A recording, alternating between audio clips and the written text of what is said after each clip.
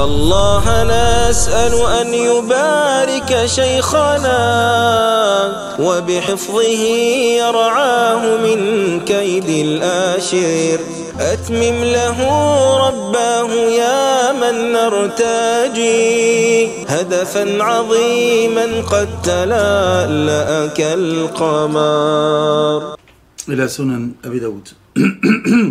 باب ما جاء في الدخول في الوصايا. رواه المصنف بسنده عن أبي ذر رضي الله عنه وأرضاه قال قال لي رسول الله صلى الله عليه وسلم يا أبا ذر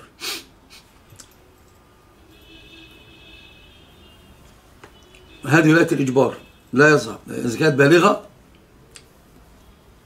بالغة بكر الأمر إليها. إما أن تجيز هذا العقد وإما لا تجيز هذا العقد. رضي الله عنك هريرة أحسن الله عليك فعن أبي ذر رضي الله عنه قال قال لي رسول الله صلى الله عليه وسلم يا أبا ذر إني أراك ضعيفا وإني أحب لك ما أحب لنفسي. فلا تأمرن على اثنين ولا تولين ما لا يتيم وهذا عجيب جدا هذا الحديث أوجب لنا إشكالين. ما ما الإشكالان وكيف وكيف حلهما؟ ما الإشكالان وكيف حلهما؟ للفيس والمكسر الآن بعتني بالاثنين هو الآن فأنا أريد الإجابة. في قولي يا أبا ذر إني أراك ضعيفا وإني أحب لك ما أحب لنفسي. فلا تأمرن على اثنين ولا تولين ما لا يتيم. سأجيب أحمد أجيبك بعد الدرس بعد بعد درس السنة بدود طيب وأنا أنا هكذا أنتظر حتى حتى يعني تجعلونني أقتل. أنا أريد الإجابة منكم. طب هو قال له إني أراك ضعيفا. وإني أحب لك ما أحب لنفسي قال أحب لك ما أحب لنفسي فلا تأمرن على اثنين. كيف؟ والنبي صلى الله عليه وسلم كان أمير على الجميع وكان سيد الجميع وكان حاكما على الجميع. ولا تولين ما لا يتيم وتولى النبي صلى الله عليه وسلم ذلك أيضا. فنقول وطبعا قال له أحب لك ما أحب لنفسي مع أنه تأمر. نقول هنا الآن المسألة حلها في شيء واحد؟ سياق الحديث قال يا أبا ذر إني أراك ضعيفا والنبي ليس ضعيفا. والنبي ليس ضعيفا. جواز طلب الولاية ممتاز ممتاز يا شريف ممتاز إجابة جيدة. هو الحق أن يقال في هذا الباب هو قال له إني أراك ضعيفا والنبي ليس ضعيفا. والنبي ليس ضعيفا. يبقى معنى الحديث في هذا الباب لو كنت كمثلك لو كنت ضعيفا مثلك يعني لو كنت مثلك لما تأمرت تأمرت على اثنين ولا توليت مال اليتيم. فإن هذه الإمارة عظيمة. ولذلك النبي صلى الله عليه وسلم قال قال قال, قال إني أراك ضعيفا. وقال له النبي صلى الله عليه وسلم لا تسألن الإمارة. فإن سئلتها وكلت إليها.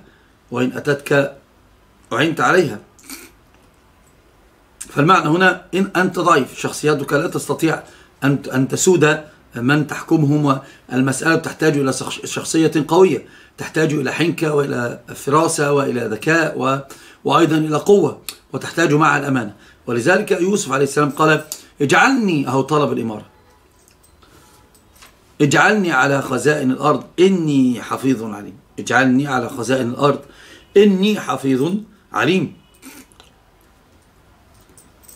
من العجائب ومن لطائف الإسناد أنه تفرد به أهل مصر وهذا حديث أخرجه مسلم وأيضا النسائي.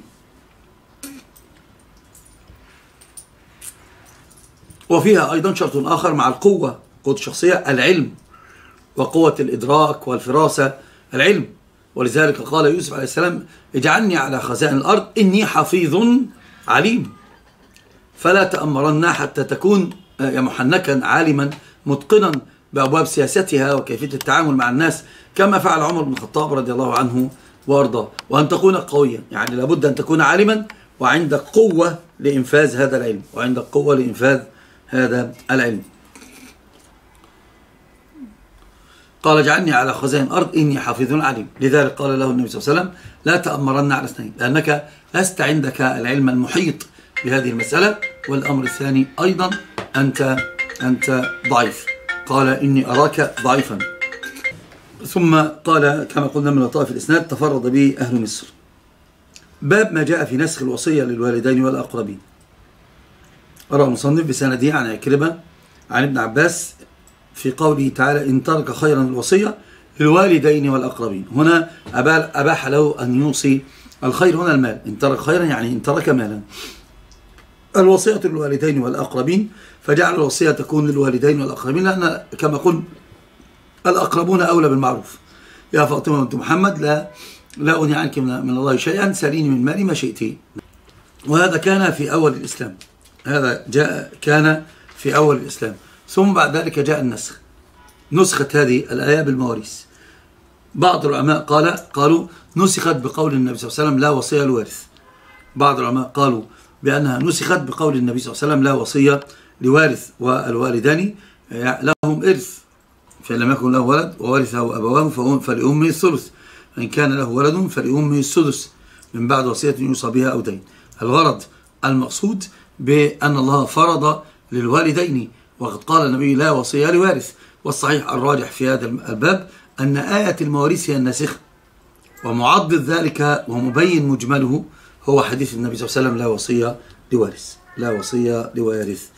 فإذا هذه منسوخة وفيها إثبات النسخ على إثبات النسخ على المعتزلة الذين ينكرون ذلك وهي نسخ القرآن بالقرآن والسنة جاءت مبينة لأن آية المواريث جاءت تعطي الوالد الإرث وتعطي الوالدة الإرث وجعلت لها وجعل لهما الشرع نصيبا مفروضا.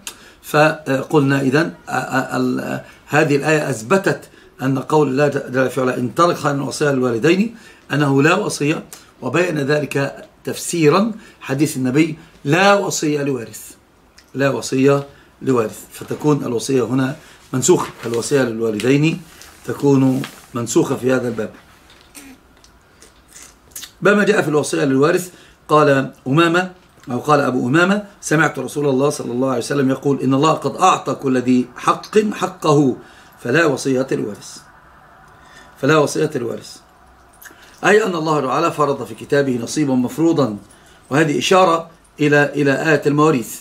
كتب عليكم إذا حضر أحدكم الموت إن ترك خير وصية الوالدين والأقربين. فنسخت بقول الله تعالى فوارثه أبواه فلكل واحد ووارثه أباه فلأمه الثلث. فلأمه الثلث فإن كان له ولد إن كان فإن لم يكن له ولد وارثه أبواه فلأمه الثلث فجعل لها نصيبا مفروضا في الكتاب. وأيضا قال الله تعالى يوصيكم الله في أولادكم للذكر مثل حظ الأنثيين ففرض الله فروضا وقسمة في كتابه. فقال النبي لا وصية لمن لمن قسم الميراث عليه الله جل في علاه. والوصية لا تزيد عن الثلث حتى لا يكون مضارة بالورثة. ولكن هي صدقة تصدق الله بها على المكلف يكون قد ختم أيامه أيام حياته في الدنيا ختام الختام الحسن. والحديث صريح قال النبي صلى الله عليه وسلم لا وصية للوارث هناك رواية فيها زيادة عند الدرقني وزيادة فيها ضعف لكن يعمل بها عند العلماء وهي في قوله صلى الله عليه وسلم لا وصية للوارث نعم إلا أن يأذن الورثة. إلا أن يأذن الورثة. أصول الشرع تقوي هذه الزيادة. أصول الشرع تقوي هذه الزيادة. إذ من أصول الشرع من ملك شيئا له أن يسقطه وله أن لا يأخذه. نعم هذا صحيح. الشافعي لا يقول بأنه القرآن ينسخ السنة أو هو ينسخ السنة أو السنة تنسخ القرآن. في الحالتين يقول لا لا نسخ. فزيادة الدرقني إلا أن يأذن الورثة هذه متفق عليها في أصول الشريعة ومقاصد الشريعة وأن من ملك شيئا له أن يتصرف فيه كيفما شاء. فإذا أسقطه أو إذا أذن للوارث أن يأخذ الوصية تحبيبا وأيضا تأليفا وإناسا في القلوب له ذلك ويكون حقق عيون مقاصد الشريعة. وهو حق له تنازل عنه. كالمرأة التي لها حق النفقة قالت لزوجها أنا غنية ثرية ما أريدك تنفق. أنت لو أردت نفقة أعطيك. لا أن تتنازل عن حقها. لا أن تتنازل عن حقها في المبيت. هي لها ذلك. هو حقها نعم حقها. لكن لها أن تتنازل عنه. نعم. وهذه كما قلنا دائرة مع التقعيد العام أن كل صاحب شيء أو كل مالك لشيء له أن يسقطه. كما قال النبي ولا يخطب أحدكم على خطبة أخيه إلا إلا أن يأذن الخاطب. إلا أن يأذن الخاطب. نقف عند عند هذه. الفوائد المستنبطة إثبات النسخ في القرآن ونسخ القرآن بالقرآن. حكمة الله في التشريع والتدريج. في هذا الباب. يبقى المطلق على إطلاقه ما لم يأتي مقيد يقيده والعام العمومي ما لم يأتي مخصص يخصصه. وقد جاء التخصيص. جاء العام لا وصية الوارث ثم جاء التخصيص بقوله إلا أن يرضى الورثة. إلا أن يرضى الورثة. لو في أسئلة تفضلوا. ولشيخنا همة علت الثريا فنالت من فنون الدين ولشيخنا همة علت الثريا فنالت من فنون الدين. ريا فذا فقه كسقي الماء كان وتلك عقيدة السلف النقيا وتلك عقيدة السلف النقيا فأخلص نية ربي وبارك على شيخ نبيل الخلق والضاح المحيا.